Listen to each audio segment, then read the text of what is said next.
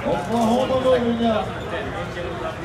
Oh, right. I thought you said me and you. And I'm like, I don't think I've ever met you. yeah. Thank you very much. Yeah. 54 last lap, yep. I mean, Charles and I were talking, we were saying, usually a 55 at the end can win it. You're at a 55, 54 is even better than 55. Yeah. I was, stayed out of trouble. I thought with like eight on